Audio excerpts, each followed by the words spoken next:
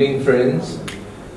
Uh, welcome to Sahmat's fourth lecture in our series commemorating the 150 years of uh, Gandhi. And I will begin by very mundane announcements, which are please do switch your mobiles to silent or switch them off. Always very disturbing. I'd also like to thank the India Habitat Center for collaborating in this series of lectures we've been doing. Today is the fourth, and it's uh, Tridip Suhrud, who probably does not need an introduction. His talk is uh, titled The Story of Antaryami. And then I thought about a visit I had paid to the Sabarmati Ashram when Tridip Bhai was um, heading it. Um, and before that, a visit to the Birla House, uh, which I had also uh, made in conversation with, uh, with Tridip Bhai to look at the murals, uh, which are in, in this kind of a building outside in the garden where he was assassinated. There's, there's a, uh, a narrative of his life in murals which which actually uh, this this image is taken from from that set of, of images, and I was curious about who had who had painted that mural under what conditions at what time period and so on. Um, and it struck me that you know one always wants more perspectives on Gandhi.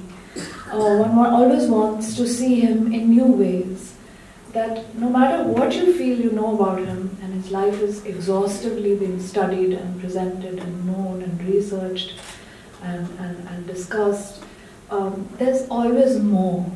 And uh, one's curiosity is almost as endless as the, uh, the, the, interest and the complexity of, of, of, of, the subject, of the life of Gandhi. Um, and while I was thinking why this is the case, um, um, it struck me uh, that perhaps this is what it means uh, for Tulsidas to have titled his work the Ramcharit Manas. Right? What is a Charit Manas? Uh, it's a lake, uh, metaphorically, of deeds and of the character of the protagonist. But when somebody invokes the small still voice, and says that is the final measure of things. How do I and how do we engage with that voice? Um, and that was the, the question that um, has stayed with me for a very, very long time. Uh, more so when reading the autobiography closely.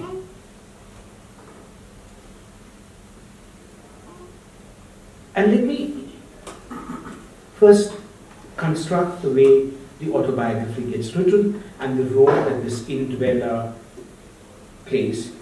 The modes by which Gandhi wants to dwell within himself, within spaces, within language, within institutional norms, within certain, certain observances that he thinks are essential for him to, uh, to acquire the capacity to hear that voice, and then see what that voice actually does to our reading, to our engagement because if we are denied any opportunity to engage, because in the final instance, the voice comes and says, it is the voice, it is the measure of all truth, at least as far as Gandhi is concerned. How do we finally, in the ultimate analysis, engage with that? So that's really what I, I, I propose to do. Um, that had been um, a strange decade, um, partly spent in prison, um, partly uh, um, spent in Delhi, um, undergoing a, a, long and probably not a very meaningful fast uh, for 24 days. 24 days, Delhi fast, yeah. Uh, uh, some, um, um, and, and, and then this act of writing the autobiography. The day before um, he began to write the autobiography, the day, almost the day before, or, or, probably on the day that he wrote the first chapter, the introduction, which is 23rd uh, November 1925, Gandhi decided to go on a fast.